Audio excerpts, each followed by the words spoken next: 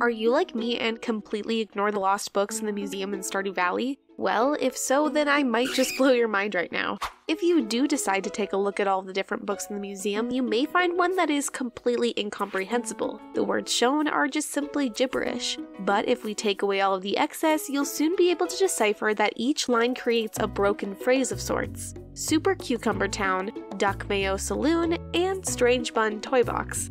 Now, this may still seem like gibberish to some of you, but what these phrases are referring to are box locations in Stardew Valley and what to bring to place inside of them. Starting with the Strange Bun toy box, we'll make our way to Vincent's room, and after placing a strange bun into this box here, we get a statue of sorts that goes by the name of Frogman? Making our way into the saloon, we'll head to the back room here and place our duck mayo into this hard to see metal box, and we get a statue called Pinky Lemon. This video is getting a little too long, so be sure to like for part 2 where we'll find our third and final statue.